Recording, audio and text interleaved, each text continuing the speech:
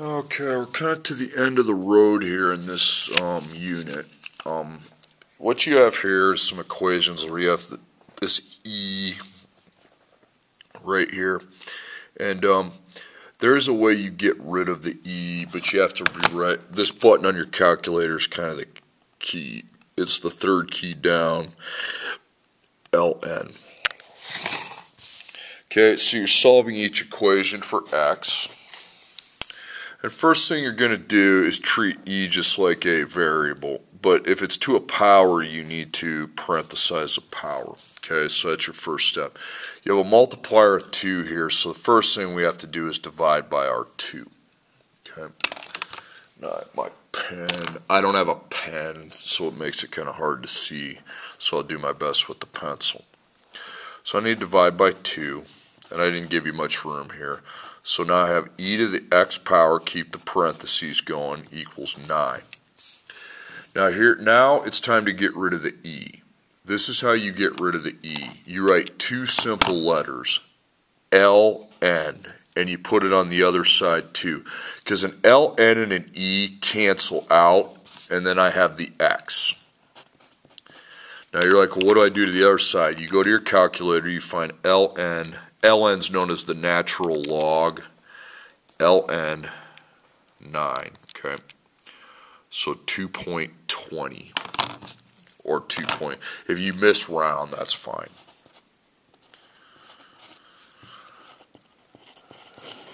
Okay, so the, and all, they're all going to be decimals here.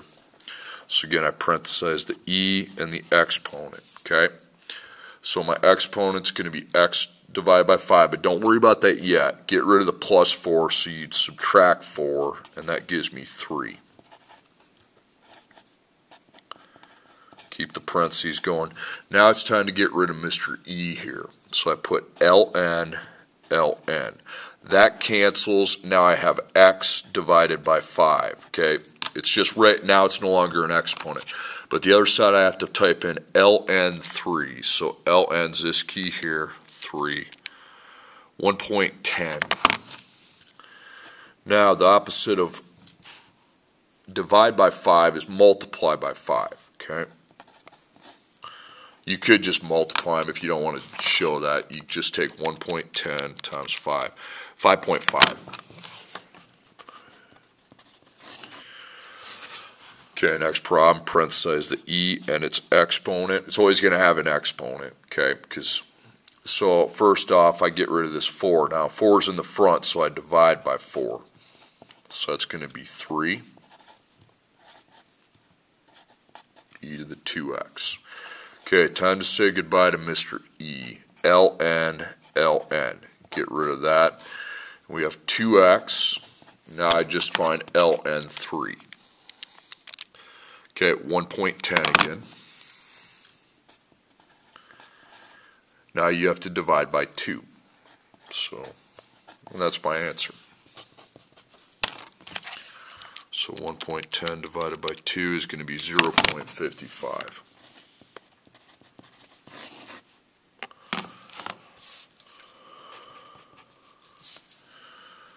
Okay, so again, I, if I see E, I need to parenthesize that because I have to solve for the X, okay? Now, I don't have anything going on outside like I did on these first three, okay? So it's time to do the ln right away, get rid of Mr. E. So now I have x divided by 2, and then I find ln 5, 1.61. So the opposite of divides multiply, so I multiply by 2 and multiply by 2. So I go 1.61 times 2, 3.22.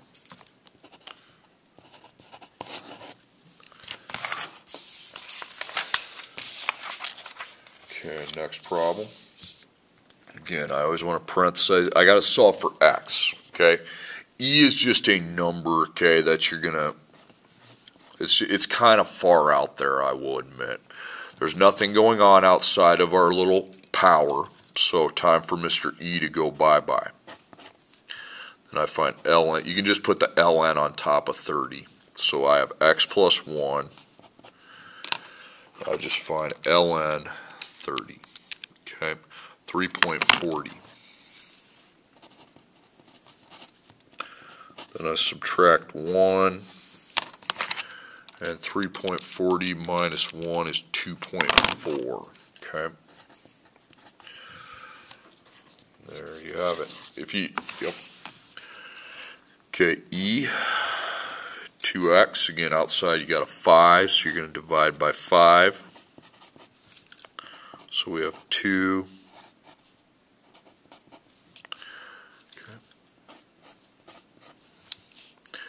Okay, time to say goodbye to Mr. E. ln, and now I have 2x, but then I have to find the ln of 2. It's called the natural log of 2. You'd think it would be NL if that's what it stands for, but NL, so ln of 2. 0.69, then I just divide by 2 and I have my answer for x.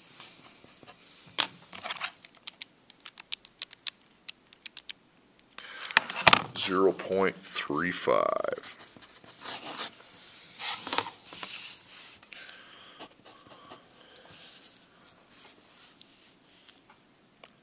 Okay, here again. Now get rid of your plus 5 before you worry about anything else. That takes that side to 1. And say goodbye to Mr. E. Okay. So 3x. Now I find the natural log of 1. 0. Okay. And I divide by 3, and I'm still at 0. So I can get 0 for an answer. That's fine.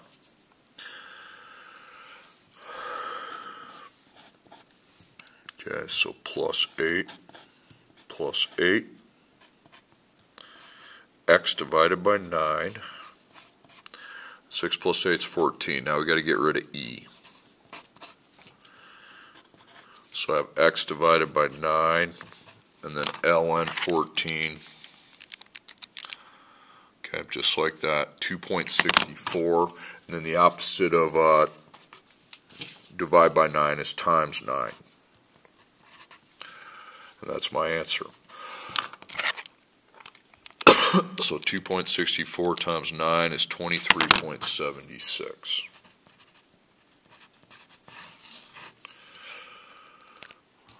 Okay.